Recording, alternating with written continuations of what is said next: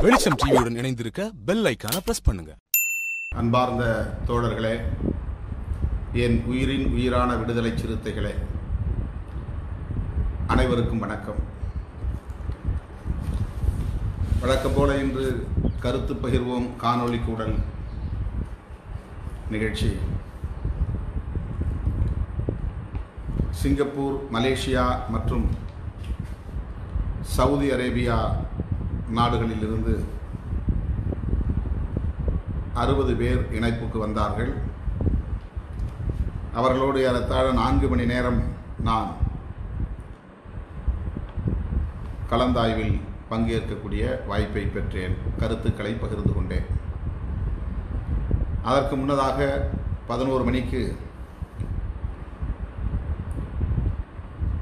நம்முடைய கட்சி தோழர்கள் ஆங்காங்கே தமிழகம் தழுவிய அளவில் பல்வேறு இடங்களில் கொரோனா வைரஸால் பாதிக்கப்பட்ட பொதுமக்களுக்கு உணவுப் பொருள் வழங்கும் நிகழ்ச்சிகளை ஒருங்கிணைத்திருந்தார்கள். தாரமங்கலம் பகுதியில் உள்ள ஈழத்தமிழர் அகதிகள் முகாமில்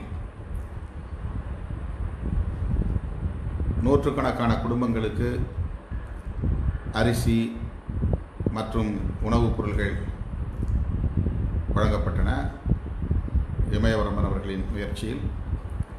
அதேபோல் விருதுநகர் மாவட்டம் திருநெல்வேலி மாவட்டம் அருணாசலபுரம் நம்முடைய பொறுப்பாளர்கள் செல்லதுரை டேனி அருள் சிங் ஆகியோரின் முயற்சியில் நானூறு குடும்பங்களுக்கு தலா ஐந்து கிலோ அரிசி.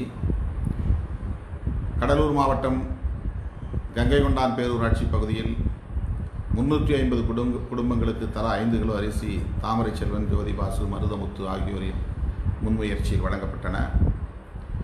சென்னையில் பாலவாக்கம் பக்கிங்ஹாம் கால்வாய் அருகே குடியிருக்கும் நூற்றி பத்து குடும்பங்களுக்கு தலா நாலு கிலோ அரிசி காய்கறி சர்க்கரை சேமியா போன்றவற்றை சார்லஸ் உள்ளிட்ட தோழர்கள் முன்னின்று வழங்கினார்கள்.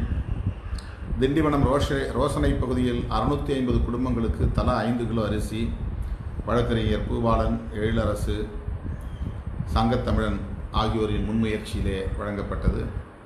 புதுக்கோட்டை திருமயம் அரண்மனைப்பட்டி என்னும் இடத்தில் இருநூற்றி ஐம்பது குடும்பங்களுக்கு கலைமுரசு குணா வீரமணி உள்ளிட்ட தோழர்களின் முன்முயற்சியில் தலா ஐந்து கிலோ அரிசி மளிகை சாமான்கள் சோப்பு காய்கறிகள் வழங்கப்பட்டன.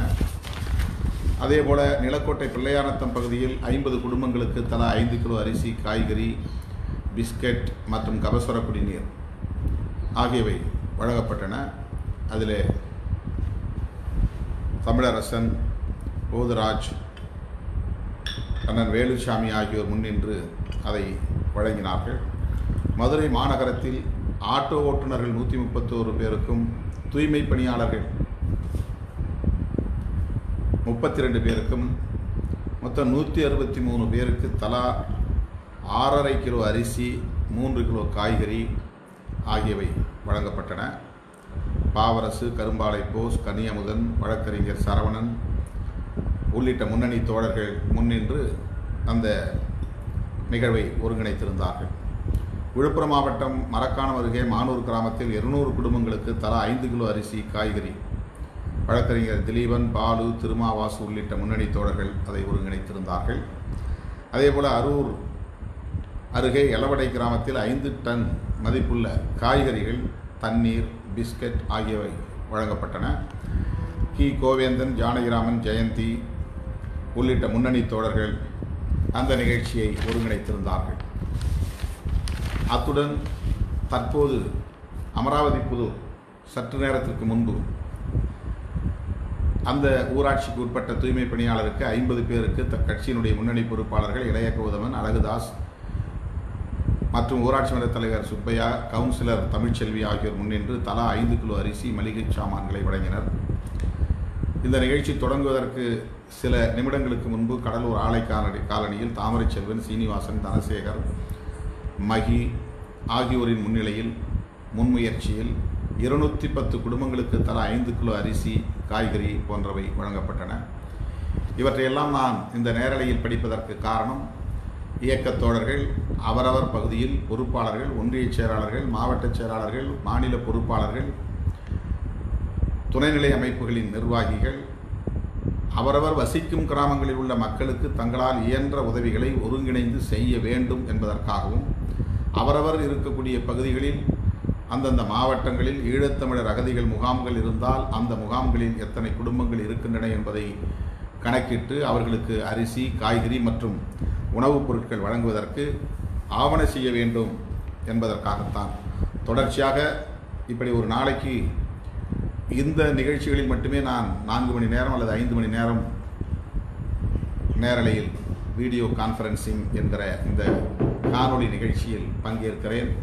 காலை பத்து மணிக்கு அமர்ந்தால் மாலை ஆறு மணி வரையில் தொடர்ச்சியாக இந்த நிகழ்ச்சியில் பங்கேற்று வருகிறேன். இந்த முதுகுவலி இவ்வளவு இருந்ததில்லை. தொடர்ச்சியாக நான் பகல் முற்பகலில் இருந்து இரவு வரையில் இந்த நிகழ்ச்சிகளில் ஒரே இடத்தில் அமர்ந்து த- இந்த காணொளி நிகழ்ச்சிகளில் பங்கேற்பது கடினமாக இருந்தாலும் கூட தோழர்களை ஊக்கப்படுத்த வேண்டும். அந்தந்த அந்தந்த பகுதிகளில் உள்ள மக்களுக்கு உதவிகள் செய்ய வேண்டும் என்பதற்காக தொடர்ச்சியாக இதில் நான் பங்கேற்று வருகிறேன். இதனை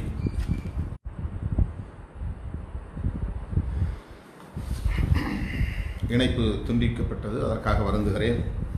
தங்களால் இயன்ற அளவுக்கு இயக்கத் தோழர்கள் அவரவர் பகுதிகளில் இந்த நற்பணிகளை மேற்கொள்ள வேண்டும். இது ஒரு அறப்பணி. Corona virus. மிகப்பெரிய அளவிலே மனித குலத்தை பாழ்படுத்தி வருகிறது. இந்த நிலையில் எல்லா நாடுகளிலும் முழு அடைப்பு முழு அடைப்பையொட்டி ஏற்பட்டிருக்கிற பொருளியல் சிக்கல்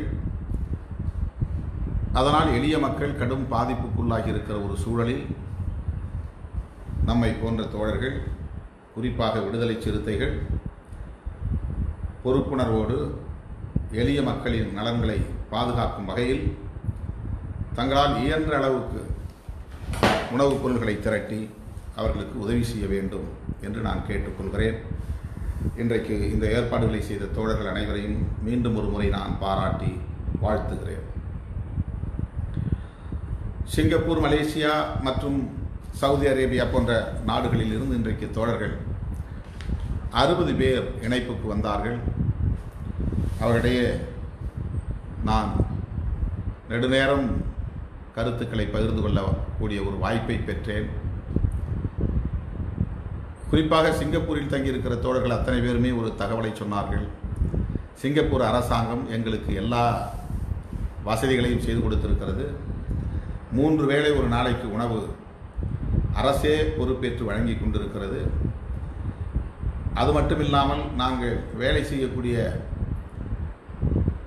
நிறுவனங்களின் மூலம் எங்களுக்கு மாதந்தோறும் வழங்க வேண்டிய சம்பளத்தையும் வழங்குகிறார்கள்.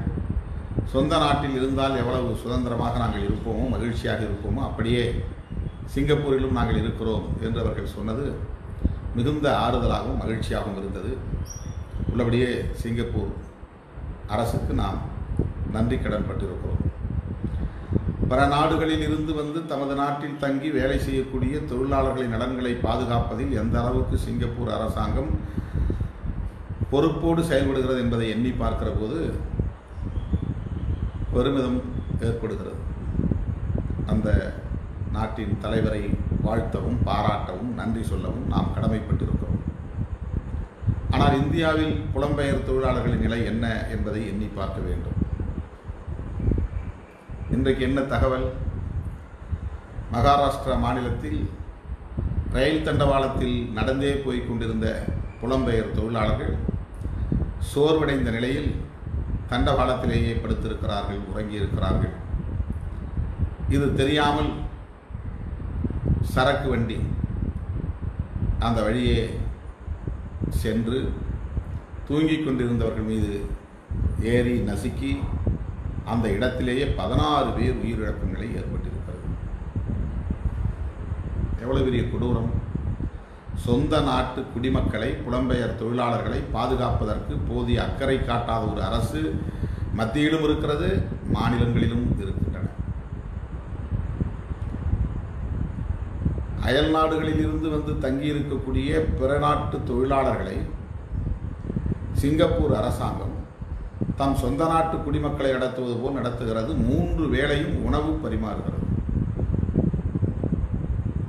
ஒரு ஒப்பீட்டுக்காக நான் சொல்லுகிறேன். இதையெல்லாம் ஆட்சி நிர்வாகத்தில் இருப்பவர்கள் உணர்ந்து கொள்ள வேண்டும் என்பதற்காக சுட்டிக்காட்டுகிறோம். ஏற்கனவே ஒருவர் அப்படி நடந்தே எண்ணூறு கிலோமீட்டர் சென்று ஒரு கிலோமீட்டர் தன்னுடைய ஊருக்கு மிச்சம் இருக்கிறது என்கிற நிலையில் ஒரு கிலோமீட்டர் தூரத்திலே ஒரு லாரி விபத்திலே சிக்கி உயிரிழந்தார் என்ற தகவலை அறிந்தோம். அதுபோல புலம்பெயர் தொழிலாளர்கள் நடந்தே பயணிக்கக்கூடிய ஒரு நிலை தம்முடைய சொந்த மாநிலங்களுக்கு அல்லது சொந்த மாவட்டங்களுக்கு கிராமங்களுக்கு வண்டி வாகனம் இல்லாத காரணத்தினால் நடந்து செல்லுகிற ஒரு சூழல். அரசு முன்கூட்டியே திட்டமிட்டிருந்தால் அவர்களை ஒரு இடத்தில் பாதுகாப்பாக தங்க வைக்கக்கூடிய சூழல் ஏற்பட்டிருந்தால் அவர்களுக்கான உணவு மாற்று உடை மற்றும் சுகாதாரம் போன்றவற்றை ஏற்பாடு செய்திருந்தால் அவர்கள் ஒரு இடத்திலிருந்து இன்னொரு இடத்திற்கு நடந்தே செல்ல வேண்டிய தேவை ஏன் எழுகிறது? நான் தொடக்கத்திலேயே இது பற்றி குறிப்பிட்டிருக்கிறேன். மார்ச் இருபத்தி ரெண்டாம் தேதி முதன் முதலாக மக்கள் ஊரடங்கை அறிவித்தார் நம்முடைய பிரதமர் மோடி அவர்கள். அன்றைக்கே அவர் முன்கூட்டியே அறிவிப்பு செய்திருந்தால் இன்னும் இரண்டொரு நாட்களில் இருபத்தோரு நாள் ஊரடங்கை நாங்கள் அறிவிக்கப் போகிறோம். அந்த இருபத்தோரு நாள் ஊரடங்கு வருவதற்கு முன்னதாக அவரவர் சொந்த மாநிலங்களுக்கு செல்ல விரும்புவோர் செல்லலாம் என்ற ஒரு அறிவிப்பை செய்திருந்தால் ஒரு மூன்று அல்லது நான்கு நாட்கள் இடைவெளியை தந்து அந்த அறிவிப்பை செய்திருந்தால் எல்லோரும் அவரவர் மாநிலங்களுக்கு திரும்பியிருப்பார்கள் சொந்த கிராமத்திற்கு போயிருப்பார்கள் குடும்பத்தோடு இருந்து கொரோனா வந்தாலும் குடும்பத்தினோடு குடும்பத்தினருடன் கிடந்து உயிரிழப்பார்கள். அதுதான் எல்லோரும் விரும்புகிற ஒன்று. என்ன நிலையாக இருந்தால் பட்டினி கிடந்து செத்தாலும் சரி நோய் வந்து செத்தாலும் சரி குடும்பத்தினரோடு இருக்க வேண்டும் என்று எண்ணுவது நினைப்பது மனித இயல்பு. அப்படி போக முடியாமல் ஆங்காங்கே அவரவர் தேங்கி கிடக்க வேண்டிய நிலை எதனால் ஏற்பட்டது? ஆட்சியாளர்களின் அலட்சிய போக்கால் முன்கூட்டியே திட்டமிடாத போக்கால் புலம்பெயர் தொழிலாளர்களை பற்றிய எந்த கவலையும் அக்கறையும் இல்லாத காரணத்தால் இந்த நிலை ஏற்பட்டது. டெல்லியிலிருந்து உத்தரப்பிரதேசத்திற்கு குறிப்பாக நொய்டா லக்னோ போன்ற இடங்களுக்கு செல்வதற்காக பல்லாயிரக்கணக்கானவர்கள் ஒரே இடத்தில் திரண்ட காட்சியை நாம் பார்த்தோம். நடந்தே போன காட்சியை நாம் பார்த்தோம். இது எவ்வளவு பெரிய அவலம் என்பதை எண்ணி பார்க்க வேண்டும். ஐந்து பேர் ஒரு இடத்தில் கூடக்கூடாது. ஒருவருக்கும் இன்னொருவருக்கும் இடையிலே குறைந்தது மூன்று மீட்டர் இடைவெளி இருக்க வேண்டும் என்றெல்லாம் சொல்லப்படுகிறது. ஆகவே ஒருவருக்கு ஒருவர் இடைவெளி விட்டுத்தான் நிற்க வேண்டும் இடைவெளி விட்டுத்தான் பயணிக்க வேண்டும் இடைவெளி விட்டுத்தான் பழக வேண்டும் என்று சொல்லக்கூடிய அளவுக்கு ஆபத்தான ஒரு நோய் கொரோனா வைரஸால் பரவுகிறது என்பதை அறிந்த பிறகு புலம்பெயர் தொழிலாளர்கள் தங்களுடைய மாநிலங்களுக்கு அல்லது மாவட்டங்களுக்கு திரும்புவதற்கான வசதியை ஏற்பாடு செய்திருக்க வேண்டிய பொறுப்பு ஆட்சி நிர்வாகத்தில் இருப்பவர்களுக்கு உண்டா இல்லையா என்கிற கேள்வி எழுகிறது. இதுவரையில் புலம்பெயர் தொழிலாளர்களின் நலன்கள் குறித்து மத்திய மாநில அரசுகளுக்கு ஒரு உருப்படியான செயல் திட்டம் இல்லை என்பதுதான் தொடர்களே வருத்தத்திற்குரியது. அதனுடைய விளைவுதான் மகாராஷ்டிரா மாநிலத்தில் நிகழ்ந்த ஒரு கொடூரம். எந்த நிலையை பாருங்கள். வண்டி வாகனங்கள் இல்லாத நிலையில் நடையாகவே போய்விடலாம். பல கிலோமீட்டர் நூற்றுக்கணக்கான கிலோமீட்டர் நடந்தே தமது நாட்டுக்கு போய் மாநிலத்திற்கு போய்விடலாம் என்று அவர்கள் எண்ணுகிறார்கள் துணிகிறார்கள் என்றால் அதற்கு காரணம் இருந்த இடத்தில் சரியான பாதுகாப்பு இல்லை பராமரிப்பு இல்லை போதிய வசதி இல்லை என்பதுதானே. மகாராஷ்டிரா மாநிலத்தில் அவர்கள் தங்கியிருந்திருக்கிறார்கள் மத்திய பிரதேசத்தை சார்ந்தவர்கள். இந்த இறந்து போன பதினாறு தொழிலாளர்கள். மகாராஷ்டிரா மாநிலத்தில் ஏற்கனவே என்ன நிலை? நாம் பார்த்தோம். மார்ச் பதினாறு ஏப்ரல் பதினாலாம் தேதி முடிந்து பதினைந்தாம் தேதி ரயில் விடுவார்கள். அதனால் நாம் முன்கூட்டியே ரயில் நிலையத்திற்கு போனால் வண்டி பிடித்து ஊருக்கு போகலாம் என்று புறப்பட்டு ரயில் நிலையத்திற்கு வந்தார்கள். அங்கே தடியடி தான் நடந்தது. ரயில் வரவில்லை. சூரத் ரயில் நிலையத்திலும் அதுதான் நடந்தது. அந்த மக்கள் தங்களுடைய மாநிலங்களுக்கு திரும்ப முடியவில்லை. இடையிலே ஒரு நாள் அல்லது இரண்டு நாள் இடைவெளி விட்டு அடுத்த மூன்றாவது கட்ட ஊரடங்கை அறிவித்திருக்கலாம். இரண்டாவது கட்ட ஊரடங்கை அறிவித்திருக்கலாம். எந்த முன்கூட்டிய திட்டமிடல் இல்லை என்பதுதான் சிக்கல். அதே மகாராஷ்டிரா மாநிலத்திலிருந்து இன்றைக்கு மத்திய பிரதேசத்திற்காக கிளம்பி சென்றவர்கள் சாலை வழியே நெடுந்தூரம் வந்து பிறகு ரயில் தண்டவாளத்தின் வழியாகவே நடந்து செல்லலாம் என்று முடிவெடுத்து நீண்ட தூரம் நடந்து இரவு நேரம் என்பதால் அசந்து அயர்ந்து அந்த தண்டவாளத்திலேயே இனி வண்டிகள் வராது என்கிற நம்பிக்கையால் தண்டவாளத்தில் படுத்திருக்கிறார். ஏனென்றால் லாக்டவுன் முழு அடைப்பு வண்டி வாகனங்கள் வராது என்கிற ஒரு நம்பிக்கை அவர்களுக்கு. குட்ஸ் ட்ரெயின் வரும் என்று அவர்களுக்கு யாரும் சொல்லவில்லை. சரக்கு ரயில் தெரியவில்லை. ஆகவே தூங்கிக் கொண்டிருக்கிற போதே இது இந்த கொடூரம் நடந்திருக்கிறது.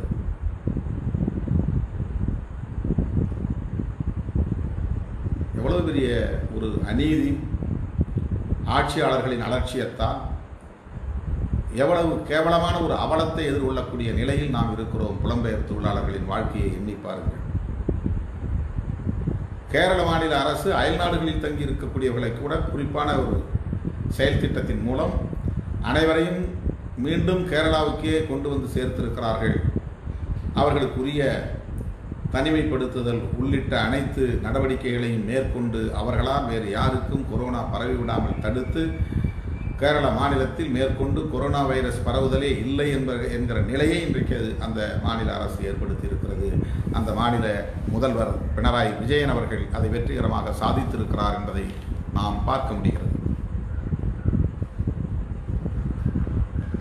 தமிழக அரசு என்ன முடிவெடுத்திருக்கிறது? இதற்கென்று ஒரு அதிகாரி நியமிக்கப்பட்டிருப்பதாக நியமித்திருப்பதாக அறிகிறோம். ஆனால் தமிழ்நாட்டிலிருந்து பிற மாநில தொழிலாளர்களை அனுப்பி வைப்பதற்கோ பிற மாநிலங்களில் இருக்கக்கூடிய தமிழ்நாட்டை சார்ந்தவர்களை கொண்டு வந்து சேர்ப்பதற்கோ இதுவரையில் உருப்படியாக எந்த செயல் திட்டத்தையும் தமிழக அரசு செய்து அதை சாதித்ததாக நம்மால் சான்று காட்ட முடியவில்லை. எவ்வளவு வேதனைக்குரிய ஒரு போக்கு என்பதை தயவு கூர்ந்து எண்ணி பார்க்க வேண்டும். மலேசியாவில் இருப்பவர்களும் அரபு நாடுகளில் இருப்பவர்களும் நம்மோடு காணொளி கூடலில் சந்திக்கிற போது எங்களை எப்படியாவது தாயகத்திற்கு கொண்டு போய் சேர்ப்பற சேர்க்கிற நடவடிக்கையை இந்திய அரசு மேற்கொள்ள வலியுறுத்துங்கள் என்று கேட்டுக்கொண்டார். குறிப்பாக குவைத்திலிருந்து பேசிய தோழர்கள் சொன்னார்கள் இங்கே சட்டவிரோதமாக அல்லது பாஸ்போர்ட் இல்லாமல் தங்கியிருக்கக்கூடியவர்கள் பல்லாயிரக்கணக்கானவர்கள் இருக்கிறார்கள் கிட்டத்தட்ட ஐயாயிரத்துக்கு மேற்பட்டவர்கள் இருக்கிறார்கள். அவர்கள் அத்தனை பேருக்கும் குவைத் அரசாங்கம் மன்னிப்பு பொது மன்னிப்பு வழங்கிவிட்டது. ஒரு குறிப்பிட்ட காலக்கெடுவுக்குள் அவர்கள் வாங்க வேண்டிய சான்றிதழ்களை வாங்கி கொண்டு அவரவர் நாட்டுக்கு குறிப்பாக இந்தியாவுக்கு திரும்பலாம் என்று அறிவித்திருக்கிறது. காலக்கெடு முடிந்தும் இந்திய அரசு அவர்களை அழைத்துச் செல்வதற்கான நடவடிக்கைகளை போதிய அளவில் எடுக்கவில்லை. கடைசி நேரத்தில் ஒரு சில பேர் குறிப்பாக ஒரு ஆயிரம் பேர் என்கிற அளவில் மட்டும்தான் அங்கிருந்து வெளியேற முடிந்தது என்கிற தகவலை சொன்னார். நாலாயிரத்துக்கும் மேற்பட்டவர்கள் இன்னும் குவைத்தில் இருந்து வெளியேற முடியாத நிலை. இந்திய அரசின் மெத்தன போக்குதான் அதற்கு காரணம் என்பதை தோழர்கள் சொன்னபோது அதிர்ச்சியாக இருந்தது. ஆகவே அயல் நாடுகளில் தேங்கி கிடக்கிற இந்தியர்களை கொண்டு வந்து சேர்ப்பதில் மத்திய அரசு தெளிவான வலுவான செயல் திட்டம் எதையும் கொண்டிருக்கவில்லை. உரிய முயற்சிகளை மேற்கொள்ளவில்லை. அதனால் அந்தந்த நாடுகளில் இந்தியர்கள் தேங்கி கிடக்கிறார்கள் தமிழர்கள் உட்பட. இந்தியாவுக்குள்ளேயே ஒரு மாநிலத்திலிருந்து இன்னொரு மாநிலத்திற்கு சென்று பணியாற்றி கொண்டிருக்கக்கூடிய தொழிலாளர்கள் அவரவர் சொந்த மாநிலங்களுக்கு திரும்ப முடியாமல் பரிதவித்துக் கொண்டிருக்கிறார்கள் படாத பாடுபட்டு கொண்டிருக்கிறார்கள். சொல்லனா துயரத்துக்கு ஆளாகி வருகிறார்கள். வெறும் பட்டினி மட்டுமல்ல எவ்வளவு கடுமையான மன உளைச்சலை இது தரும் என்பதை உளவியல் ரீதியாக சிந்தித்து பார்க்கக்கூடியவர்களால் மட்டும்தான் உணர முடியும். ஆட்சி அதிகாரத்தில் இருப்பவர்களுக்கு அதை பற்றி கவலை இல்லை. டாஸ்மாக் கடைகளை திறப்பது பற்றித்தான் கவலை. மதுக்கடைகளை திறந்தே ஆக வேண்டும் என்கிற முடிவுக்கு அவர்கள் தள்ளப்பட்டிருக்கிறார்கள். மதுக்கடைகளை திறந்ததும் முதல் நாளே நேற்று மே ஏழாம் தேதி என்ன காட்சியை கண்காட்சியை நாம் பார்த்தோம். கொரோனாவை பற்றி துளியும் அச்சமில்லை. வரிசையில் அணிவகுத்து நிற்கிறார்கள். ஒரு கிலோமீட்டர் ஒன்றரை கிலோமீட்டர் தூரம் இடித்து நெறித்து கொண்டு நிற்கிறார்கள். எதற்காக? குடும்பத்தை காப்பாற்றுவதற்கான உணவுப் பொருள் வாங்குவதற்காக அப்படி அடித்து பிடித்து நிற்கிறார்கள். அல்லது கொரோனா வைரஸிலிருந்து தற்காத்துக் கொள்வதற்கான தடுப்பு மருந்து வழங்கப்படுகிறது என்பதற்காகவா அப்படி அடித்து பிடித்து நிற்கிறார்கள்? இடித்து நெறித்து நிற்கிறார்கள். மது அருந்துவதற்காக. நாடு எக்கேடு கெட்டால் என்ன? உலகம் என்ன போக்கில் இருந்தால் என்ன? தங்களுக்கு தேவை மது என்று எண்ணக்கூடிய ஒரு நிலையை நாம் பார்க்கிறோம். அரசு இதற்கு வழிவகுத்து தருகிறது. வெளியிலே நடமாடக்கூடாது உழவக்கூடாது கும்பல் கூடக்கூடாது ஓரிடத்தில் குவியக்கூடாது. அப்படி இருந்தால் அது கொரோனாவுக்கு ஆதரவாக போய்விடும் என்கிற அடிப்படையில் தான் முழு அடைப்பே நடக்கிறது. அதன் பிறகு ஓரிடத்தில் கூடுவதற்கு ஏற்ற ஒரு ஆணையை அரசாணையை எப்படி அரசு பிறப்பிக்கிறது? அப்படி என்ன அவசரம்? நாற்பது நாற்பத்தைந்து நாள் அதிலிருந்து வரக்கூடிய வருமானம் இல்லாமல் அரசாங்கத்தை நடத்த முடியவில்லையா? நாற்பது நாற்பத்தைந்து நாள் குடிக்காதவர்கள் இந்த மண்ணில் வாழவில்லையா? தயவு கூர்ந்து எண்ணி பார்க்க வேண்டும். இது மக்களுக்கு செய்த மன்னிக்க முடியாத ஒரு துரோகம் இது. மதுக்கடைகள் இருப்பதால் மதுவை விற்பதால் அரசுக்கு வருமானம் வரலாம். ஆனால் பல குடும்பங்கள் பாதிக்கப்படுகின்றன. கணவன் மனைவிக்கு இடையிலே முரண்பாடுகள் மோதல். விவாகரத்து என்கிற நிலைகளை எல்லாம் நாம் பார்க்கிறோம். அதை தாண்டி கொரோனா பரவும் என்பதுதான் இப்போது இருக்கிற மிகப்பெரிய அச்சம். கும்பல் கூடினால் கொரோனா பரவும். இது நமக்கே தெரிகிறது என்கிற போது ஆட்சியாளர்களுக்கு தெரியாதா? அதிகாரிகளுக்கு தெரியாதா? முதலமைச்சர் அப்படி விரும்பினாலும் அதிகாரிகள் அதை தடுக்க வேண்டாமா? அதிகாரிகள் அப்படி விரும்பினாலும் கூட முதலமைச்சர் தடுக்க வேண்டாமா? இதனால் என்ன கெட்ட பெயர் வந்தாலும் பரவாயில்லை கொரோனா பரவினாலும் பரவாயில்லை மக்கள் பாதிக்கப்பட்டாலும் பரவாயில்லை அரசுக்கு வருமானம் வேண்டும் என்கிற அளவுக்கு அவர்கள் எண்ணுகிறார்கள் என்றால் முடிவெடுக்கிறார்கள் என்றால் எந்த அளவுக்கு ஒரு பிற்போக்கான சிந்தனை அவரிடத்திலே இருக்கிறது என்பதை எண்ணி பார்க்க வேண்டும். மிகுந்த கவலையாக இருக்கிறது. புலம்பெயர் தொழிலாளர்களின் நிலையை எண்ணி பார்த்தால் மதுக்கடைகளை திறந்த போக்கை எண்ணி பார்த்தால் அந்த அளவுக்கு வேதனை மேலிடுகிறது. ஆகவே மத்திய மாநில அரசுகளின் இந்த போக்கை விடுதலை சிறுத்தைகள் கட்சி மிக வன்மையாக கண்டிக்கிறது. புலம்பெயர் தொழிலாளர்களை பாதுகாப்பதற்குரிய நடவடிக்கைகளை விரைந்து மேற்கொள்ள வேண்டும். அவர்களை மாநிலம் விட்டு மாநிலம் கொண்டு போய் சேர்க்கக்கூடிய நடவடிக்கைகளை அறிவிக்க வேண்டும். சிறப்பு வண்டிகளை இதற்காக விடலாம் என்று மோடி சொன்னார். அதற்கான கட்டண விகிதங்கள் அறிவிக்கப்பட்டன. இந்த நெருக்கடியில் காங்கிரஸ் பேரியக்கத்தினுடைய தலைவர் சோனியா காந்தி அம்மையார் அந்தந்த மாநிலங்களில் உள்ள காங்கிரஸ் கமிட்டி புலம்பெயர் தொழிலாளர்களை அவரவர் சொந்த மாநிலங்களுக்கு அனுப்பி வைப்பதற்கான செலவை ஏற்றுக்கொள்ளும் என்று அறிவித்தார். அரசு பொறுப்பேற்று செய்திருக்க வேண்டும். எதிர்க்கட்சியாக இருக்கிற காங்கிரஸ் செய்வோம் என்று அறிவித்தவுடன் இல்லை இல்லை நாங்கள் மத்திய அரசும் மாநில அரசும் அந்த செலவை ஏற்றுக்கொள்வோம் என்று பிரதமர் மோடி பிறகு அறிவித்தார். ஆனால் என்ன நடந்தது? புலம்பெயர் தொழிலாளர்களின் நிலை என்ன? என்றும் அது கேள்விக்குறியாகத்தான் இருக்கிறது வருத்தத்திற்குரியாக நிலையில்தான் இருக்கிறது. எனவே மறுபடியும் மறுபடியும் விடுதலை சிறுத்தைகள் கட்சியின் சார்பில் மத்திய மாநில அரசுகளுக்கு விடுக்கிற வேண்டுகோள் புலம்பெயர் தொழிலாளர்களின் நிலை குறித்து தீவிரமாக சிந்திக்க வேண்டும். உரிய உருப்படியான ஒரு நடவடிக்கையை மேற்கொள்ள வேண்டும். மேலும் பலர் ஆட்சியாளர்களின் அலட்சியத்தால் உயிரிழக்கக்கூடிய நிலை ஏற்பட்டுவிடக்கூடாது. இந்த நொடியே மத்திய மாநில அரசுகள் இது குறித்து விழிப்பாக செயல்பட வேண்டும் என்று விடுதலை சிறுத்தைகள் கட்சியின் சார்பில் வலியுறுத்துகிறேன். இன்று மே எட்டாம் நாள் செஞ்சிலுவை சங்கத்திற்கான உலக நாள் world red cross day May எட்டாம் நாளை உலகமே இன்றைக்கு செஞ்சிலுவை சங்கத்தை போற்றும் வகையில் கொண்டாடுகிறது கொண்டாடி கொண்டிருக்கிறது. இந்தியாவிலும் கொண்டாடி இருக்கிறோம் அந்த சங்கம் தொடங்கப்பெற்று இந்தியாவில் நூறு ஆண்டு கடந்திருக்கிறது. ஆயிரத்தி எண்ணூற்றி அறுபத்தி மூன்றிலே முதன் முதலாக இந்த சங்கத்தை உருவாக்கியவர் ஹென்றி டொனாண்ட் ஹென்றி டொனாண்ட். அவர் முதலாம் உலகப் போருக்கு பிறகு ஏற்பட்ட பாதிப்பு யுத்த களத்தில் படை வீரர்களும் பொதுமக்களும் சந்தித்த அவலங்கள். அவர்களை மனித நேயத்தோடு அணுகுவதற்கு ஒரு அமைப்பு தேவைப்படுகிறது என்கிற அடிப்படையில் அவர்தான் இந்த ரெட் கிராஸ் என்கிற செஞ்சிலுவை சங்கத்தை ரெட் கிரசன்ட் என்கிற சங்கத்தை உருவாக்கினார். International committee of the red cross என்ற அமைப்பையும் அவர்தான் உருவாக்கினார். ஏறத்தாழ நூற்றி எழுபது நாடுகளில் இந்த சங்கம் தொடங்கப்பெற்று இயங்கிக் கொண்டிருக்கிறது. இந்த ஹென்ரி டுனாண்ட் என்பவர் தன்னுடைய பணிகளுக்காக முதன் முதலாக நோபல் பரிசை பெற்றவர். முதல் முதலாக நோபல் பரிசை பெற்றவர்.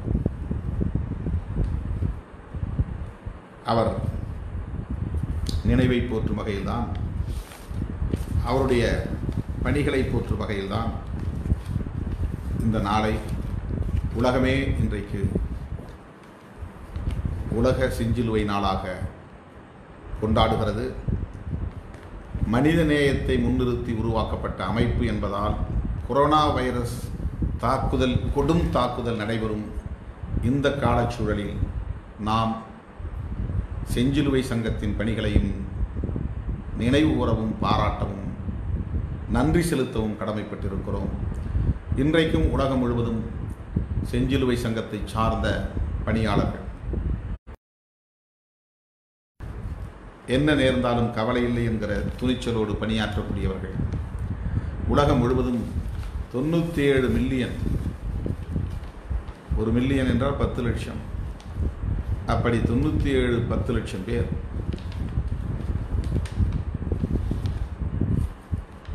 தொள்ளாயிரத்தி எழுபது லட்சம் பேர். ஒன்பதே முக்கால் கோடி பேர் கிட்டத்தட்ட பத்து கோடி பேர் உலகம் முழுவதும் செஞ்சிலுவை சங்கத்தில் தங்களை உறுப்பினர்களாக பதிவு செய்து கொண்டு எந்த எதிர்பார்ப்பும் இல்லாமல் பிரதிபலன் பார்க்காமல் ஏற்படுகிற இன்னல்களை பற்றி கவலைப்படாமல் தொண்டாற்றிக் கொண்டிருக்கிறார்கள். மாந்தநேயத்திற்காக தங்களை ஒப்படைத்துக் கொண்டிருக்கிறார்கள். போர்க்காலங்களில் எப்படி மக்கள் பாதிக்கப்படுவார்கள் என்பதை நாம் விவரிக்க முடியாது. படை வீரர்களாக இருந்தாலும் அது எந்த நாட்டு படையை சார்ந்தவர்களாக இருந்தாலும் அல்லது மக்கள் எதிர்க்கக்கூடிய எந்த அமைப்பாக இருந்தாலும் கூட மக்கள் விரும்பக்கூடிய அமைப்பாக இருந்தாலும் எதிர்க்கக்கூடிய அமைப்பாக இருந்தாலும் அரசுக்கு ஆதரவான அமைப்பாக இருந்தாலும் எதிரான அமைப்பாக இருந்தாலும் யுத்தத்திலே பங்கேற்கிறார்கள் என்றால் யுத்தத்திலே அவர்களும் பாதிக்கப்பட்டார்கள் என்றால் யாராயிருந்தாலும் அவர்களை எல்லாம் குற்றுயிரும் குறையுருமாக கிடக்கிற போது அவர்களை தொட்டு தூக்கி மருத்துவமனைக்கு கொண்டு செல்வது முதலுதவி செய்வது நோய் பீடித்தால் நோய் நோய்வாய்ப்பட்டவர்களை அணுகி அவர்களுக்கு தொண்டு செய்வது போன்ற தொண்டுள்ளத்தை பெற்ற ஒரு அமைப்பு தான் செஞ்சிலுவை சங்கம். அந்த செஞ்சிலுவை சங்கத்தின் உலக நாள் மே எட்டாம் நாள். இந்த நாளில் மனிதநேயத்தை நாம் போற்றுவோம். மனிதநேயத்தின் அடிப்படையில் மக்கள் பணியாற்றுவோம் ஆனால் இக்காலத்திலும் கூட சாதி வெறியர்களுக்கு மத வெறியர்களுக்கு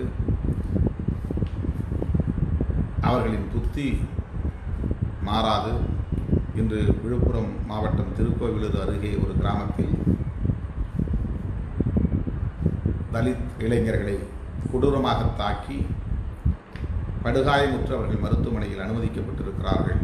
என்பதை அறிந்து உள்ளபடியே நான் வேதனைப்பட்டேன். அதற்கு காரணம் சாதி என்கிற அடிப்படையில் அவர்கள் இந்த தாக்குதலை நடத்தியதற்கு சொல்லுகிற காரணம் அவர்களுக்கு கொரோனா தொற்று இருக்கிறது அவர்கள் எங்கள் பகுதிக்கு ஏன் வந்தார்கள்? கொரோனா தொற்று உறுதிப்படுத்தப்படவில்லை. சென்னையிலிருந்து வந்திருக்கிறார்கள் என்கிற நிலையில் அதை ஒரு காரணமாக காட்டி இப்படி ஒரு தாக்குதலை சாதிபதியர்கள் நடத்தியிருக்கிறார்கள். பல இடங்களில் இந்த சந்தர்ப்பங்களில் சாதிவெறி தாக்குதல்கள் நடந்து கொண்டிருக்கின்றன. மதவெறியர்களும் தங்களுடைய மதவெறியை நடைமுறைப்படுத்தி கொண்டுதான் இருக்கிறார்கள். இதையெல்லாம் எண்ணி பார்க்கிற போது மாந்தநேயத்தின் நிலை என்ன என்பதை நாம் கவலையோடு பார்க்க வேண்டியிருக்கிறது. இந்தியாவை பொறுத்தவரையில் எத்தனை இயற்கை பேரிடர் வந்தாலும் கூட இவர்களை பீடித்திருக்கிற தலைமுறை தலைமுறையாய் பீடித்திருக்கிற ஆட்கொண்டிருக்கிற சாதி பித்தும் மதப்பித்தும் மாறுவதில்லை என்பதுதான் வேதனைக்குரியது. அதே போல் ஆட்சியாளர்களின் அல்லது அரசு அதிகாரிகளின் காவல்துறையினரின் போக்கும் கவலைக்குரியதாக இருக்கிறது. கோயம்பேடு சந்தையிலிருந்து வெளியேறிய சொந்த கிராமங்களுக்கு சென்ற தொழிலாளர்கள் கொரோனா தொற்றுக்கு ஆளாகியிருக்கிறார்கள் என்கிற தகவல் கடுமையாக பரவியது. நாம் ஊடகங்களின் வாயிலாக பார்த்தோம். குறிப்பாக அரியலூர் பெரம்பலூர் கடலூர் விழுப்புரம் போன்ற மாவட்டங்களை சார்ந்தவர்கள் பரிசோதிக்கப்பட்டதில் ஏராளமானவர்களுக்கு அந்த கொரோனா தொற்று இருப்பது உறுதியாக தெரிந்தது. அவர்களை தனிமைப்படுத்தி வைத்திருக்க வேண்டிய அரசு தொடர்ந்து இருபத்தெட்டு நாட்களுக்கு அவர்களுக்கு உரிய வசதிகளை செய்து தர வேண்டிய அரசு உணவு உடை போன்றவற்றை அளிக்க வேண்டிய அரசு இரண்டு நாள் மூன்று நாள் சும்மா உட்கார வைத்துவிட்டு எந்த சோதனையும் நடத்தாமல் நீங்கள் உங்களுடைய சொந்த கிராமங்களுக்கு போகலாம் அங்கே போய் தனிமையிலே உங்களை தனிமைப்படுத்திக் கொள்ள வேண்டும். குடும்பத்திலிருந்து விலகிக் கொள்ள வேண்டும் தனிமைப்படுத்திக் கொள்ள வேண்டும் என்று அறிவுரை சொல்லி அனுப்பியிருக்கிறார். எப்படி அரசு இருக்கிறது ஆட்சி நிர்வாகம் இருக்கிறது என்பதை புரிந்து கொள்ளுங்கள். முதலில் கோயம்பேடு சந்தையிலிருந்து அவர்கள் வெளியேறுகிற போதே அவர்களை அங்கேயே சோதித்திருக்க வேண்டும் அல்லது அங்கேயே தனிமைப்படுத்தி இருக்க வேண்டும். அல்லது அவரவர் மாவட்டங்களுக்கு சென்றதும் மாவட்ட ஆட்சி நிர்வாகம் அவர்களை அடையாளம் கண்டு தனிமைப்படுத்தி இருக்க வேண்டும். இரண்டையும் செய்யவில்லை. கேரள அரசு இதில் கவனமாக இருந்ததால் தான் ஜனவரி முப்பதாம் தேதி முதல் முதலில் இந்தியாவில் ஒருவருக்கு கொரோனா தொற்று உறுதியானது. அதன் பிறகு அவர்கள் எடுத்த நடவடிக்கை ஒவ்வொன்றும் யாரோடெல்லாம் அவர்களுக்கு தொடர்பு இருந்ததோ தொடர்பு இருந்த அத்தனை பேரையும் கண்டறிந்து பரிசோதனை செய்து தொற்று இல்லை என்று உறுதிப்படுத்தப்பட்டவர்களையும் கூட தனிமைப்படுத்தி குவாரண்டைனில் வைத்து அதன் பிறகு அவர்களை வீட்டுக்கு அனுப்பியிருக்கிறார்கள். அயல் நாடுகளிலிருந்து வந்த ஒருவரை கூட மறந்தும் தெரியாமல் கூட வீட்டுக்கு அனுப்பவில்லை. அவர்களை கண்டுபிடித்து ஒரு இடத்திலே அமர வைத்து அவர்களுக்கு உண்டான எல்லா வசதிகளையும் செய்து கொடுத்து அவர்கள் இருபது இருபத்தெட்டு நாட்கள் தங்கியிருந்த பிறகு வீட்டுக்கு அனுப்பியிருக்கிறார்கள் ஆனால் இங்கே என்ன நிலை? முழு அடைப்பு இருந்த நேரத்திலும் கோயம்பேடு சந்தை இயங்கியது. முழு அடைப்பு இருந்த நேரத்திலும் சந்தையில் ஆயிரக்கணக்கானவர்கள் வந்து இறங்கினார்கள். பிறகு அங்கிருந்து அவர்கள் சொந்த கிராமங்களுக்கு செல்கிறார்கள். சொந்த கிராமங்களுக்கு செல்லுகிற வரையில் அரசு அதை கவனிக்கவில்லை. ஒரு சிலரை பிடித்து உட்கார வைத்து இரண்டொரு நாட்கள் கழித்து நீங்கள் வீட்டுக்கு போகலாம் என்று வீட்டுக்கு அனுப்பியிருக்கிறார்கள். பிறகு ஊடகங்களில் செய்தி வந்த பிறகு ஒரே நாளில் நூற்றி ஐம்பது பேர் இரநூறு பேர் ஐநூறு பேர் என்று கொரோனா தொற்று உறுதியான தகவல்கள் வெளியான பிறகு வீட்டுக்கு போனவர்களை மறுபடி நகர்ப்புறங்களுக்கு வாருங்கள். நாங்கள் ஏற்பாடு செய்திருக்கக்கூடிய குவாரண்டைனில் வந்து தங்குங்கள் என்று அதிகாரிகள் அழைக்கிறார்கள் என்றால் இந்த நிர்வாகத்தில் எவ்வளவு தடுமாற்றம் இருக்கிறது என்று பாருங்கள். எவ்வளவு ஊசலாட்டம் இருக்கிறது என்று பாருங்கள். இவர்கள் அரியலூர் மாவட்டத்திலும் இதே நிலையை எடுத்தது தான் அதிர்ச்சி. எனக்கு சொந்த மாவட்டம் சிதம்பரம் தொகுதி. வீட்டுக்கு அனுப்பப்பட்டவர்களை மறுபடியும் நீங்கள் நகரத்திற்கு வாருங்கள். திருமண மண்டபம் பிடித்து வைத்திருக்கிறோம். அங்கே வந்து தங்குங்கள். உணவு நல்ல உணவு அளிக்க சொல்லி அரசு ஆணையிட்டு இருக்கிறது என்று மறுபடியும் அழைக்கிறார்கள். எப்படி வீட்டுக்கு போனவர்கள் திரும்ப வருவார்கள்? அப்படி கிராமங்களுக்கு சென்றதனால் அங்கே இது குடும்பத்திலும் பிரச்சனையை உருவாக்குகிறது. அவர்கள் வசிக்கக்கூடிய சொந்த கிராமத்திலும் முரண்பாட்டை உருவாக்குகிறது. சாதி அடிப்படையிலும் முரண்பாடுகளை உருவாக்குகிறது எவ்வளவு பெரிய சோஷியல் கிரைசிஸ் என்பது உருவாகிறது பாருங்கள் ஆட்சியாளர்களின் முறையான திட்டமில்லாத காரணத்தால் செயல் திட்டம் வரையறுக்கப்படாத காரணத்தால் ஏற்படுகிற சிக்கல் இது. எனவே புலம்பெயர் தொழிலாளர்களின் பிரச்சனையில் அரசு தீர்க்கமான முடிவை எடுக்க வேண்டும் தீவிரமான நடைமுறைகளை மேற்கொள்ள வேண்டும். அவர்களை பாதுகாப்பதற்குரிய நடவடிக்கைகளை எடுத்தால்தான் பராமரித்தால்தான் கொரோனா தொற்றின் வேகத்தை கட்டுப்படுத்த முடியும் என்பதை விடுதலை சிறுத்தைகள் கட்சியின் சுட்டி சுட்டிக்காட்டுகிறது. ரயில் விபத்திலே உயிரிழந்த தோழர்களுக்கு விடுதலை சிறுத்தைகள் கட்சியின் சார்பில் எமது அஞ்சலியை செலுத்துவதோடு அந்த குடும்பத்தினருக்கு ஆழ்ந்த இரங்கலையும் தெரிவித்துக் கொள்கிறோம். ஆந்திராவில் அதேபோல நச்சுவாயு கசிந்ததனால் பத்துக்கும் மேற்பட்டவர்கள் பலியாகியிருக்கிறார்கள். ஐயாயிரத்துக்கும் மேற்பட்டவர்கள் மூச்சு திணறி மருத்துவமனையில் அனுமதிக்கப்பட்டிருக்கிறார்கள். இந்த நிலையில் தமிழ்நாட்டில் ஏற்கனவே அதே போல வேதிப்பொருட்களை பயன்படுத்தக்கூடிய பல ஆலைகள் உள்ளன. சென்னை கோயம்புத்தூர் போன்ற பகுதிகளில் ஸ்டைரின் என்கிற வாயுவை உற்பத்தி செய்யக்கூடிய அந்த வேதிப்பொருளை பயன்படுத்தக்கூடிய ஆலைகள் தமிழகத்திலும் உள்ளன. எனவே இந்த முழு அடைப்புக்கு பிறகு இந்த ஆலைகள் எல்லாம் இயங்கக்கூடிய நிலை வந்தால் அந்த ஆலைகள் சரியான நிலையில் இயங்கக்கூடிய நிலையில் உள்ளனவா என்பதை ஆராய்ந்து அதற்கு சான்றிதழ் அளிக்க வேண்டும். இவர்கள் மீண்டும் இயக்கலாம் இயங்கலாம் என்று சான்றிதழ் அளித்த பிறகு அவர்கள் ஆலையை திறக்க வேண்டும். தமிழக அரசுக்கு இதை வேண்டுகோளாக விடுத்து இன்றைக்கு நிறைவு செய்கிறேன். மீண்டும் நாளை சந்திப்போம். நன்றி வணக்கம்.